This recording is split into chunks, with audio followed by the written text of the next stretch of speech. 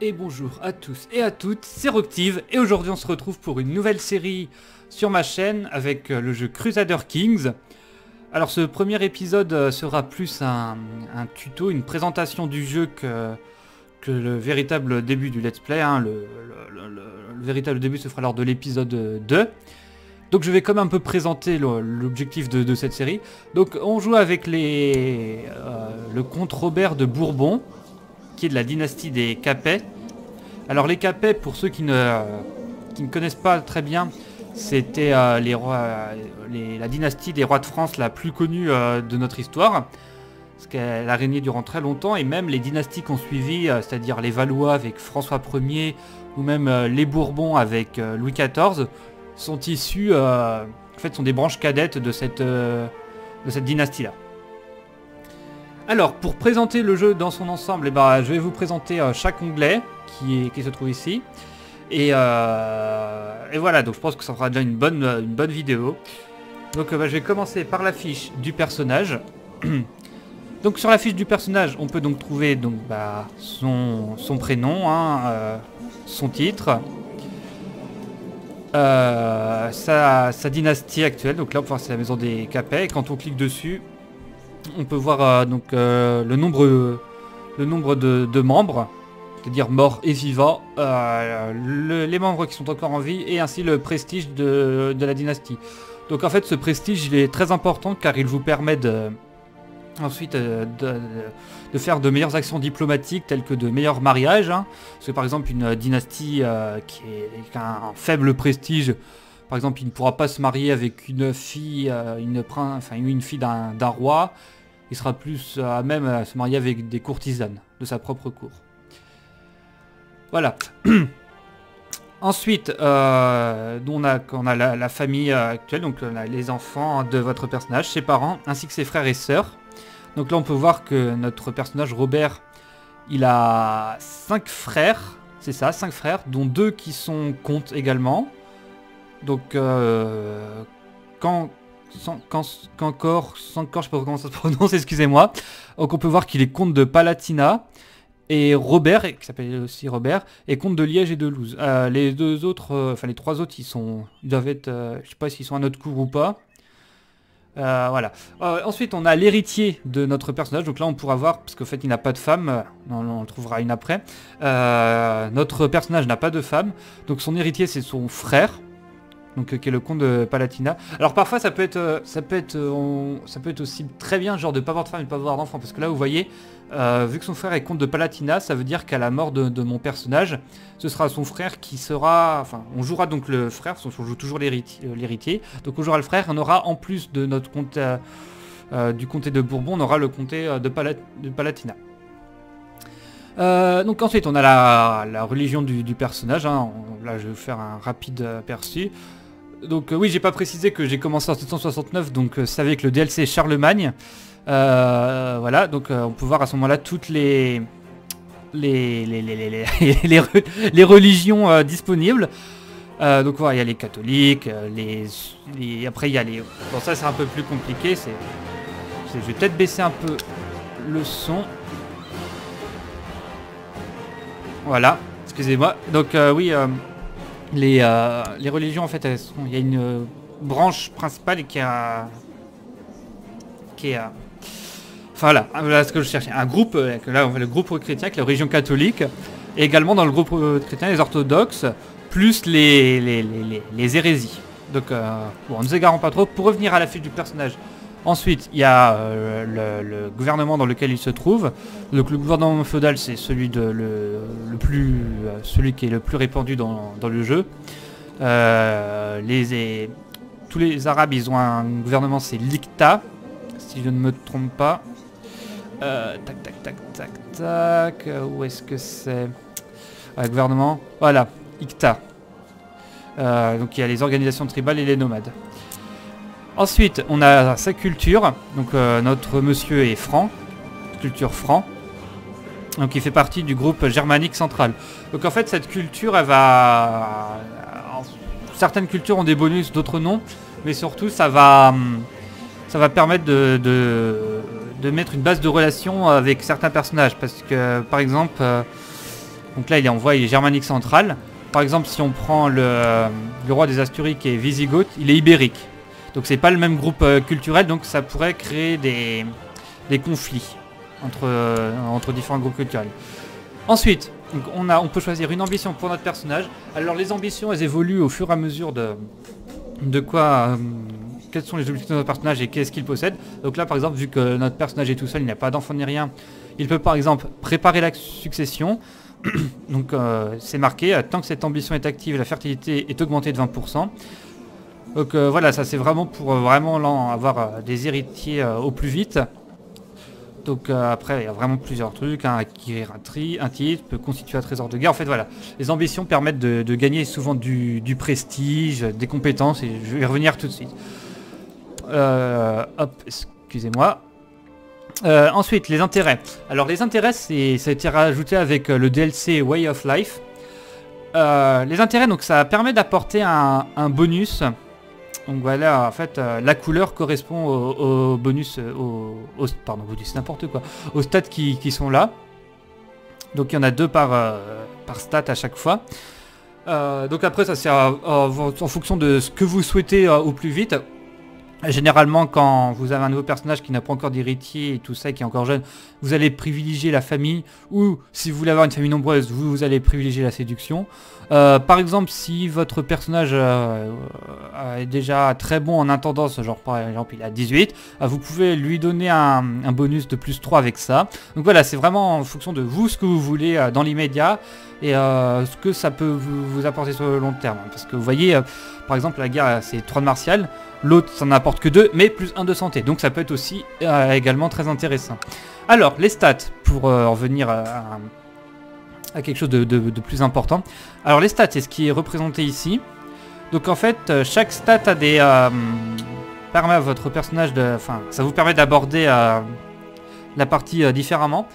Donc là, on peut voir que mon personnage, bah, il a pas vraiment des stats terribles, voire même très très nuls, hein, parce qu'à part le 10 en martial, les autres elles sont, puis euh, érudition j'en parle pas, les autres elles sont en dessous de 10, donc c'est vraiment très très mauvais.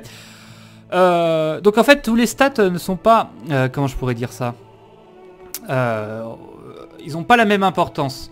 Par exemple, en fonction de votre rang, de, de ce que vous êtes, un stade va être plus important par exemple quand vous serez roi que quand vous serez comte. Parce que par exemple, voilà, quand vous êtes euh, roi, euh, le plus important c'est de, pour mon opinion personnelle, c'est de privilégier la diplomatie. Euh, pourquoi? Parce que la diplomatie, ça vous permettra d'avoir de meilleures relations avec tous vos vassaux. Et ceci, est- c'est vraiment très important parce que les vassaux peuvent vite poser problème. Et surtout, ça vous, vous, permettre avec votre limite de vassaux d'en avoir une, plus grande. Ensuite, les, la martiale. Donc, bah, c'est la, guerre, hein, tout ce qui est en rapport avec la guerre. Donc, euh, plus euh, votre, euh, plus ce stade sera élevé et plus votre personnage pourra développer de meilleures stratégies et être et être bah, être meilleur au combat, hein, remporter des batailles plus facilement. L'intendance, alors c'est le c'est la compétence qui vous permet d'a- d'amasser un peu plus d'argent, mais aussi une intendance plus élevée vous permet d'avoir plus de domaines pour vous-même au lieu d'en distribuer aux vassaux. Euh, la compétence intrigue, donc c'est tout ce qui est en rapport avec l'espionnage. Donc cette compétence, elle peut, s'avérer très très efficace si par exemple vous êtes un, euh, si vous êtes vassal du- d'un roi quelconque. Euh, si vous nommez maître espion, déjà, si vous voulez l'assassiner, vous aurez un énorme bonus pour les intrigues, et ça c'est pas négligeable. Et surtout avec une compétence élevée, vous pourrez plus facilement survivre s'il y a des complots contre vous ou les, ou les démasquer plus facilement. Et enfin le dernier, l'érudition. Euh, bah, l'érudition jusqu'au dernier DLC euh, Monk, euh, Monk Mystic, bah, c'était pas vraiment. C'était un peu la compétence qu'on laissait de côté. Hein. C'était pas la. Un peu la compétence qu'on sacrifiait au profit d'autres.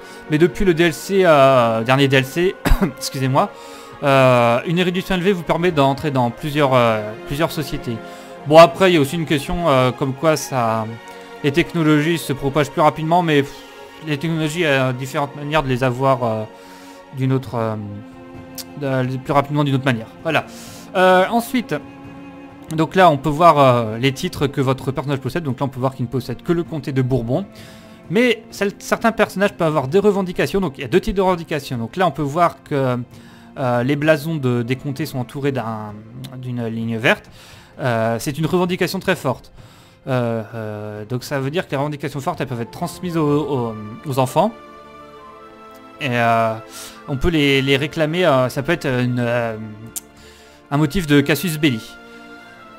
diplomatie, ça c'est par exemple quand vous avez un, autre vassal qui, qui, vous est tributaire ou vous êtes en paix avec, avec une, un autre, un autre personnage. Donc là on a aussi les informations de, notre personnage qu'on peut retrouver ici.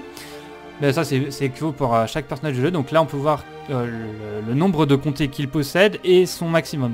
Donc là on peut voir que notre ami Robert il peut avoir un total de, de, 4 comtés maximum. Euh, ça c'est le nombre limite de vassaux.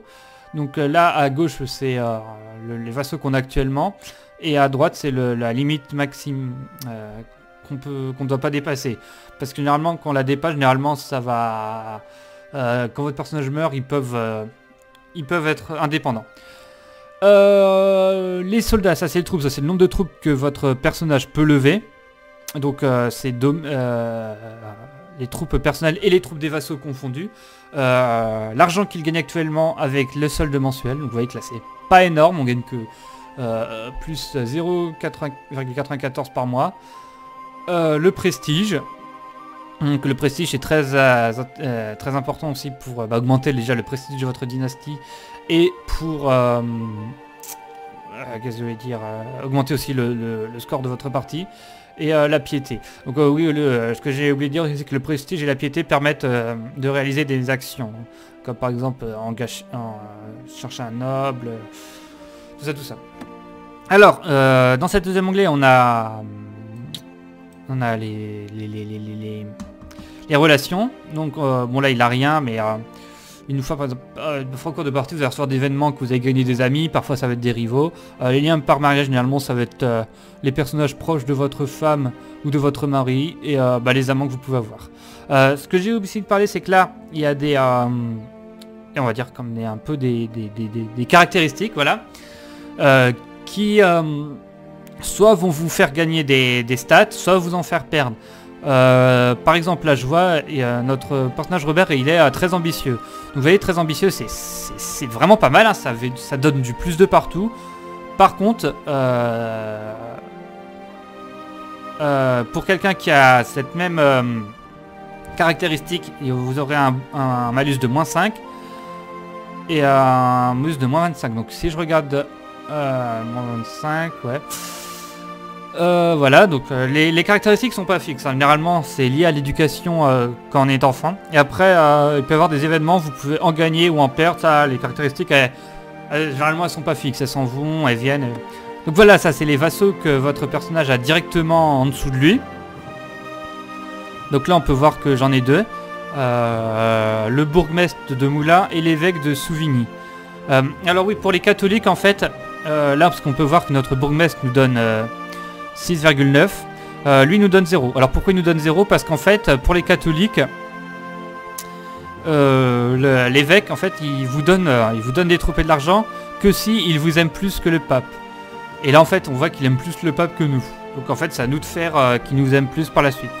Donc ça, c'est à la cour. Donc à la cour, il y a tout. Il y a vos vassaux, vos, les personnages qui sont présents à votre cour. Donc ça peut être des gens de passage, des membres de votre famille. Euh, les pactes, ça c'est genre pas souvent quand vous vous mariez ou par euh, votre dynastie. C'est euh, souvent là-dedans on voit les pactes de non-agression et les alliances.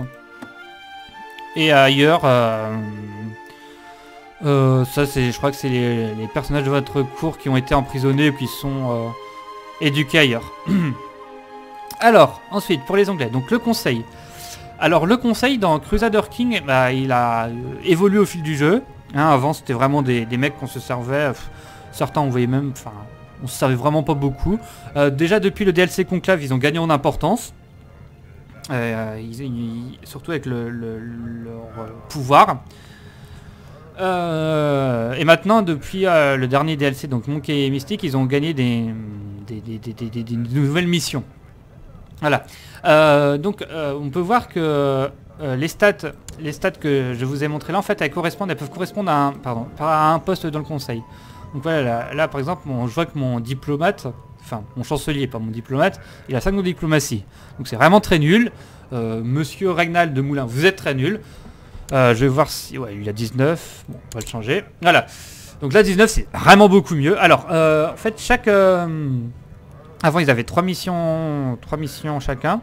Maintenant, ils en ont 4. Et en fait, celle-là, celle que vous voyez là, là, qui sont actives automatiquement, en fait, ils vont faire des trucs euh, euh, automatiques. Là, vous voyez que lui, en fait, il est censé... Euh, en fait, il va améliorer des relations avec vos voisins tout seul. En fait, vous n'avez pas besoin de le mettre tel là ou tel Alors, je vais vous présenter comme chacun des rôles. Alors, le chancelier, lui, je vous ai là parlé de sa première mission qu'il fait automatiquement. Il... en gros, il, il, améliore avec vos voisins vos relations. Euh, ça c'est amélioré aussi en féodal. Donc certains diront que bah, c'est la même chose. Alors oui c'est la même chose, mais ça c'est euh, si vous voulez euh, voir avec un personnage en particulier. Parce qu'en fait le premier c'est avec un personnage random. Alors que là c'est vraiment un personnage que vous aurez que vous voudrez vraiment précisément. fabriquer des revendications. Alors ça je pense que c'est la mission que vous allez le plus utiliser avec votre chancelier. c'est quand bah, par exemple là on peut voir avec mon con, le comté de Bourbon. Quand on regarde De Jure, il fait partie du duché de Bourbon. Ah, sauf que le duché de Bourbon, pour le faire, il faut aussi ces deux autres comtés. Sauf que moi, bah, j'ai pas de revendication sur ces deux autres comtés. Donc bah, je vais me servir de mon, de mon chancelier pour aller faire une revendication sur la marche, le comté de la marche. Et ainsi, après, euh, bon après, c'est un peu... On peut pas vraiment savoir quand est-ce qu'il va la faire. Hein. Parfois, vous le mettez, il va la faire dans la seconde qui suit. Et parfois, euh, il va mourir, il aura toujours pas fait de revendication. Donc ça, ça, on sait pas vraiment quand est-ce qu'il va la faire. Et semer la discorde, bah, c'est pour euh, des... J'en perds mon latin. détériorer voilà, les relations vassal-seigneur. Ensuite, on a notre maréchal. donc le maréchal, bah, c'est celui qui supervise un peu l'armée. Donc sa mission principale, c'est il va faire des... qui fait automatiquement, c'est en fait, il va entraîner vos, hommes, là, vos courtisans. Donc il va leur faire gagner des, des compétences, des stats en martial. Euh, c'est plutôt pas mal, hein. Euh, comme ça, vous ne savez pas trop, il entraîne vos troupes. Euh, il peut mater des révoltes. Donc ça, c'est utile généralement quand vous, allez conquérir un comté, un comté d'une culture différente ou d'une religion différente, ou quand une hérésie apparaît, pour éviter que, des, rebelles se soulèvent. former des troupes, ça vous permet d'avoir un bonus de troupes pendant une courte durée et rechercher des progrès militaires. Ensuite, l'intendant. Donc l'intendant, c'est celui qui, aide euh, à, l'argent. Donc euh, si on le laisse faire ses missions, il va développer votre comté, vos, possessions. Euh, ensuite, il peut percevoir l'impôt. Donc ça, ça, ça, peut vous amener, quand il réussit, ça vous amène de l'argent en plus. Donc ce qui n'est pas négligeable en soi. il peut superviser les, les constructions. donc ça, bon, bah, c'est utile, hein. Pardon, excusez-moi, mais moi personnellement je l'utilise jamais. Euh, rechercher des progrès économiques. Ensuite, on a le maître espion. Alors, le maître espion, c'est euh, avec le chancelier, je trouve que c'est un des, deux postes les plus importants. Euh, si vous le laissez faire, il va, il va, il va intriguer. Hein. il va savoir si, par exemple, il y a des complots contre vous ou contre des membres de votre famille, ou même contre d'autres personnes au sein de votre cour. sa première mission, c'est qu'il sabote l'exploitation du comté. Donc euh, bah, ça c'est pas mal, par exemple là bah jouer avec mon comté de la marche, euh, saboter des bâtiments comme ça ça peut faire baisser des troupes ou des revenus. Euh, tisser un réseau d'espionnage en fait c'est quand vous voulez assassiner quelqu'un et que votre puissance n'est pas très forte ou que personne ne veut rejoindre votre complot. Vous mettez votre maître espion en plus de donner un boost à votre pourcentage d'intrigue, ça va aussi peut-être faire changer d'avis certaines personnes et rejoindre votre complot. Et étudier une technologie, c'est là que je disais que par rapport à l'érudition, il y avait plein de moyens de gagner technologie. C'est que si vous avez un maître espion, vous le prenez. Euh, généralement, vous allez le mettre dans l'Empire byzantin, euh, de préférence à Constantinople, parce que c'est là que les technologies sont le plus développées. Vous le mettez, de temps en temps, il va vous dire qu'il a réussi à dérober des plans et ça va vous faire gagner des, points pour les technologies. Ensuite, le dernier, c'est le chapelain. Euh, donc le chapelain, si vous le laissez faire, il va chasser les apostats. Donc les apostats, c'est ceux qui ont rejoint la secte des, des Lucifer. Euh, il, il peut faire du proléthéisme, c'est-à-dire euh, convertir un, comté à la religion euh, catholique. rechercher des progrès culturels et améliorer les relations religieuses. Donc bah, sans plus attendre, là, vu comme on avait vu que mon évêque m'appréciait moins que le pape, bah, je vais demander à, faire à ce qu'il m'aime plus. Mon maréchal, on va lui demander de former plus de troupes et lui, bah, on va le laisser gérer. Euh, donc oui, il y a les titres mineurs aussi. bon alors, ça peut sembler déroutant vu comme ça, mais ces titres-là, là, Maître écurie, Grand Veneur, Grand Aumônier et chanson, pas un drame hein, s'il n'y a personne. Hein. Généralement, c'est plus, voilà, c'est plus pour donner un bonus d'opinion à, celui que vous le donnez. Euh, les postes, les plus importants, c'est vos commandants, hein, parce que sans eux, euh, vos hommes seront dirigés par personne. Euh, le régent désigné, donc choisissez le bien, parce que si votre personnage meurt et que votre héritier est encore un gamin, c'est lui qui va assurer la régence du, bah, du royaume. donc si c'est quelqu'un qui pouvait pas vous piffrer, bah croyez-moi qu'il va, soit piquer dans la caisse, soit tenter de carrément tuer, de vous tuer, hein, enfin voilà. Euh, et le physicien de la cour aussi très important parce que si vous n'avez pas et que vous tombez malade, bah, vous ne pourrez pas recevoir de traitement et donc bah, vous risquez de mourir plus facilement. Donc voilà la, page du, conseil avec, donc, avec tous les membres que euh, j'ai présentés tout à l'heure. Euh, donc le conseil, en gros, là, dans la date où j'ai actuellement, il a aucun pouvoir. Hein. donc il, ne peut rien dire, hein. même s'il est mécontent, en gros, on se fiche complètement de ce qu'il dit. Euh, c'est au fil parce qu'en fait il a très vite cherché à accroître son pouvoir, donc il va créer une faction pour ça. Et euh, il va en fait il va vouloir vite augmenter son pouvoir. Et en fait c'est quand il commence à avoir du pouvoir que le conseil, bah là faut vraiment jouer avec. Parce que là vous pouvez voir, bon ils ont tous. Euh, voilà, en fait, ils ont chacun, chacun une opinion hein, au sein du conseil par rapport à vous. C'est-à-dire que si vous mettez, par exemple, pas un membre de votre famille ou quelqu'un qui vous aime pas, il fera tout au conseil pour vous pourrir. Hein. Mais je veux dire littéralement tout. Hein. Je veux dire, il ira soudoyer les autres membres pour euh, qu'ils ne puissent pas, qu'ils ne puissent pas voter, euh, enfin qu'ils puissent pas voter en votre faveur et qu'ils s'opposent automatiquement à vos votes. par exemple, si vous voulez déclarer la guerre, qui s'oppose automatiquement à vos déclarations de guerre. voilà. Donc le conseil, en fait, faut, vraiment se méfier parce que au bout d'un moment, quand ils vont avoir pas mal de pouvoir, ceux qui seront présents dans le conseil, ils pourront plus rejoindre de factions. Donc ça après, à vous de jongler avec ça, parce que euh, faudra réfléchir. C'est est-ce que à ce poste-là, je mets quelqu'un qui est très puissant, mais par contre c'est une vraie brêle. Hein. Par exemple, euh, vous cherchez un maréchal, euh, et s'il a que deux, mais par contre il est très puissant, voilà, c'est à vous de voir hein, dans l'immédiat si vous avez vraiment besoin de ce poste-là ou pas. et ça, le conseil lige, bah, en gros, c'est le conseil de, notre seigneur. Donc là, notre seigneur, bah, c'est le, roi Carlo, Carloman de, de Francie. Euh, j'en ai été au conseil. Euh, donc là, vous pouvez voir euh, les membres qu'il compose. Les lois ensuite. alors les lois, bah, c'est les lois de votre comté royaume. Hein. Donc là, vous pouvez voir les lois de, Bourbon et les lois en vigueur dans le, le royaume, le Francie médiane. Donc on va se pencher sur notre comté. Euh, donc là, on peut voir que c'est en agnitico-cognatique partage chalique. Alors ça, c'est généralement c'est le, c'est tout, pratiquement tout le monde qui a ça dès le début. Donc là, vous pouvez voir euh, les héritiers. Hein. Donc dans l'ordre, hein. d'abord ce sera lui, ensuite si lui meurt, ça sera lui, etc., etc. Alors ensuite, vous pouvez changer hein, les lois de succession. Euh, soit vous passez en agnatique, c'est-à-dire que c'est les hommes, il n'y a que les hommes qui peuvent hériter, les femmes elles sont enlevées de la loi de succession et cognatique. C'est-à-dire que les femmes, c'est pareil que les hommes, elles, héritent sur un même pied d'égalité. Alors ensuite, il y a plusieurs lois euh, de succession. Donc là, on est en partage chalique. Partage chalique, ça veut dire que, euh, par exemple, euh, là, je veux le comté de la marche. Donc si je l'obtiens, c'est-à-dire que ça me fera deux comtés. Et si par exemple j'ai deux fils, à ma mort, il y a mon fils aîné qui va obtenir le comté de Bourbon et mon second fils qui obtiendra le comté de la Marche. Donc voilà, c'est ça en fait. En gros, vos titres se partagent entre vos enfants. Euh, partage chalique électif, euh, c'est à peu près la même chose, sauf que je crois qu'on élit les membres en fonction du titre.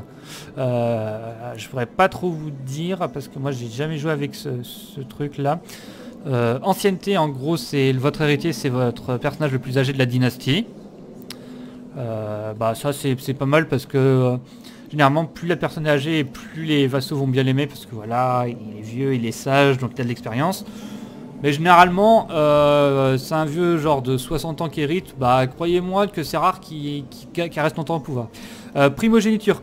Alors ça, personnellement, c'est la, la loi que je me dépêche le plus de débloquer. Pourquoi? Parce que... Euh, pour revenir à mon exemple avec les, deux comtés, Bourbon et La Marche, avec la primogéniture, c'est mon fils héritier qui hérite de tous mes titres. Euh, bon après les autres ils sont pas contents parce que voilà, mais c'est euh, le fils héritier qui, hérite de tout. Donc ça c'est vraiment pas mal, hein. ça évite de, d'éparpiller tous les, les comtés hein, et de garder les mêmes. Euh, monarchie élective, bon ça en gros c'est, c'est un peu comme une élection. merci Captain Obvious parce qu'électif, électif, ah, voilà c'est élection. je suis en forme ce soir. en gros c'est tout le monde peut hériter. Hein enfin tout le monde, tous les vassaux de rang. Donc là par exemple, euh, quand on voit le royaume, euh, c'est généralement les ducs et euh, bah, les comtes indépendants. donc c'est-à-dire c'est pas forcément. Généralement ils votent pour l'héritier de la dynastie actuelle, mais ça peut être un duc quelconque ou voilà, c'est pas forcément. et ultimogéniture, c'est le plus jeune qui hérite de. Donc ah, c'est pas par exemple si vous avez qu'un gamin, ah voilà, hein, que ce soit en primogéniture, en ultimogéniture, ça ne change pas grand chose. Mais, euh, mais je, crois que je suis en train de vous dire de la merde. Parce que je sais plus si c'est euh, vos enfants ou si c'est par même par rapport à vos frères et sœurs. Euh, je sais plus du tout. voilà. Voilà, voilà, voilà. Je fais un tuto. Je ne connais pas bien mon sujet. Je suis le roi des champions. le gouvernement. donc dans le gouvernement, vous avez plusieurs plusieurs lois en quelque sorte. Donc on a par exemple le statut des femmes. Donc oui, les, femmes au début elles sont tout en bas de l'échelle, hein, puis euh, ça libre à vous après par exemple d'augmenter leur statut. Et en fait, euh, les augmenter, ça va leur permettre d'occuper euh, certains postes qu'elles ne peuvent pas avant. vous voyez, par exemple, en complet, elles peuvent avoir tous les postes. on peut passer en succession conatique. Les femmes peuvent commander les armées et tout, voilà. Alors qu'en tradition, bah, ne faut rien. Révocation de titre, euh, aucune. Bah, c'est-à-dire que si par exemple un vassal vous trahit qui vous déclare la guerre, vous pouvez pas lui tirer son titre, c'est, vous pouvez pas. Voilà. Autorisé, bah donc là vous pouvez.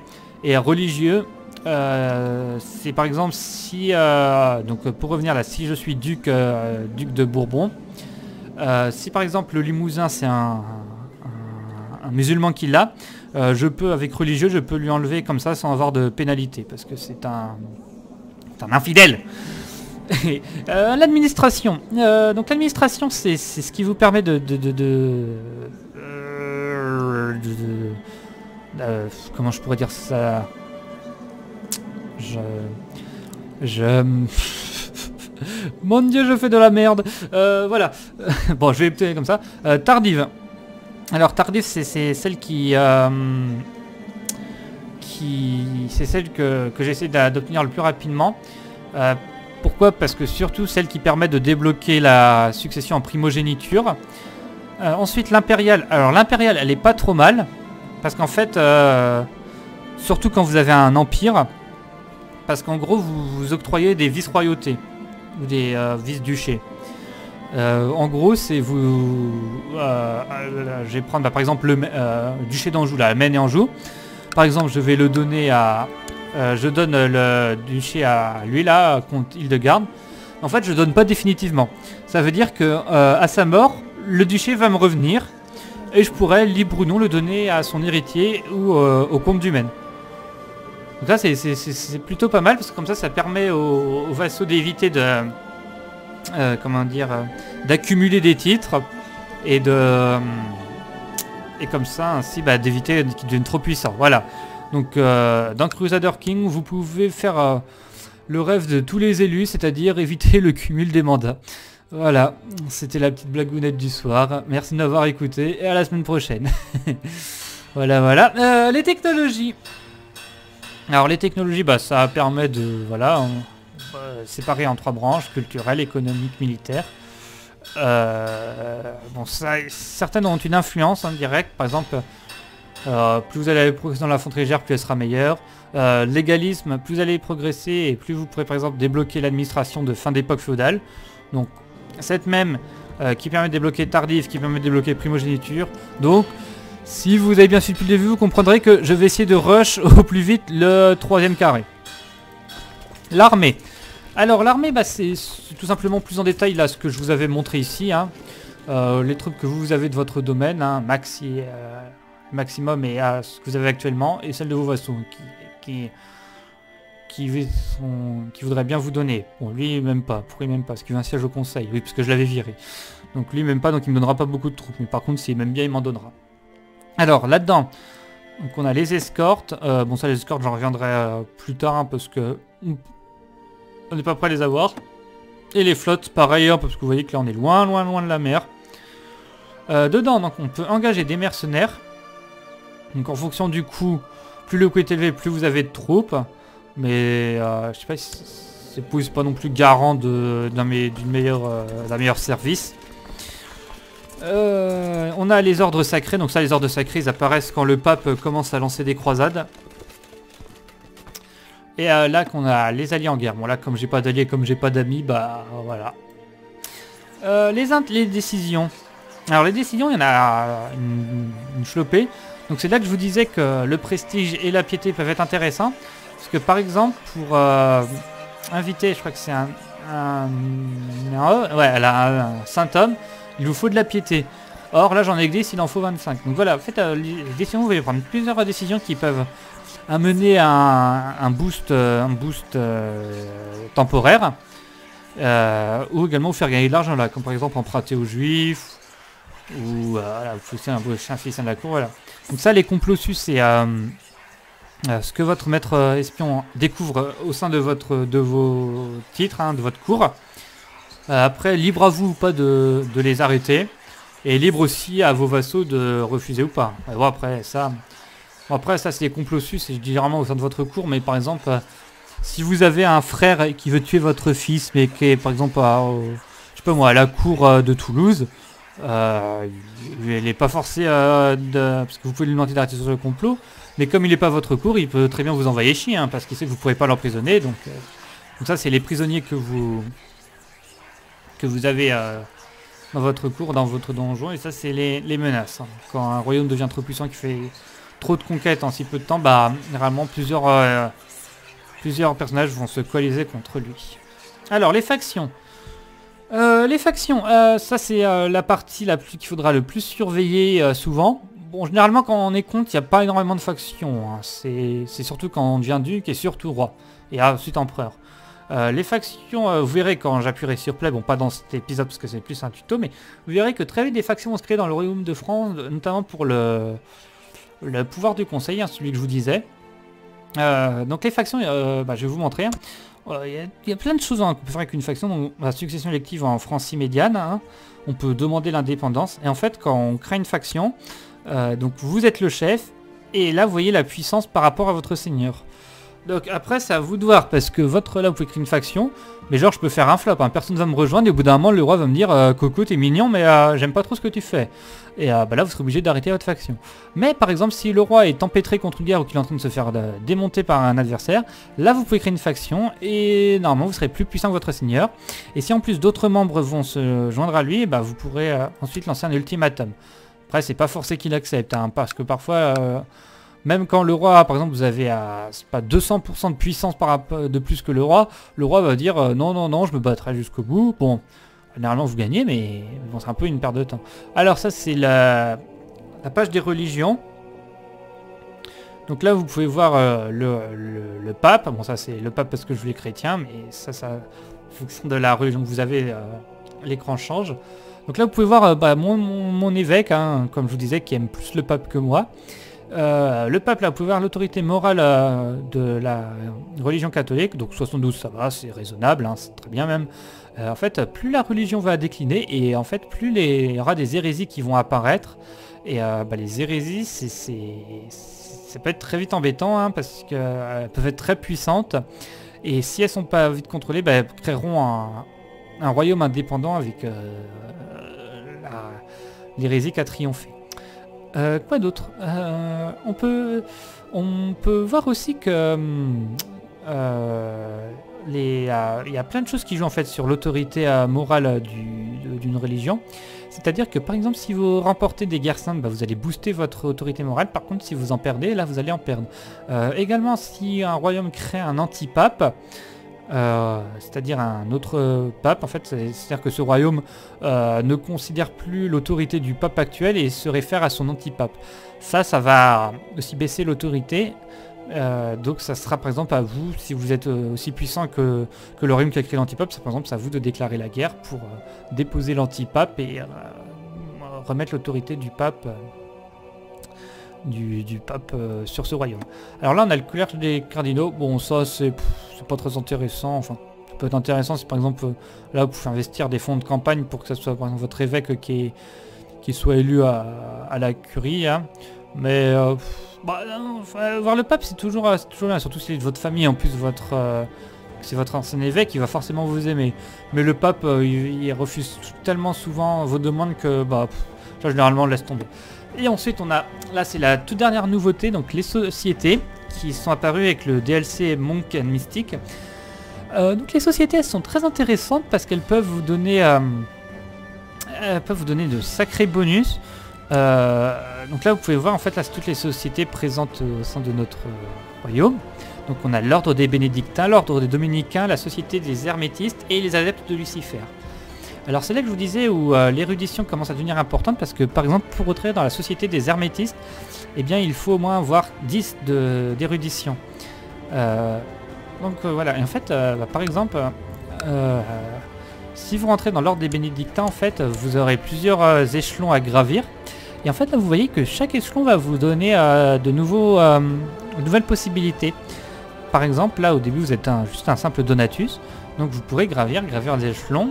Donc euh, en sachant que Conversus c'est le plus fort en fait, c'est celui qui dirige l'ordre. Et euh, par exemple la Conscriptus, euh, vos pouvoirs là entre guillemets, ça sera ça, faire vœu de célibat ou renoncer au vœu de célibat. bon ça c'est généralement...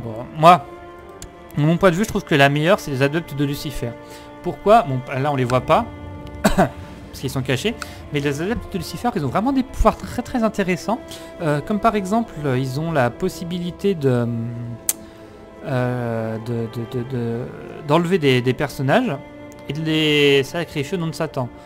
Alors ça franchement c'est vraiment pas mal, surtout quand on a un vassal gênant, très très puissant, qu'on a envie d'éliminer sans sans gagner des, malus, parce que oui, quand on emprisonne quelqu'un sans, sans motif, on gagne pas mal de malus contre avec ses autres vassaux, alors que là, on peut l'enlever et, du coup, on n'a pas d'autres malus.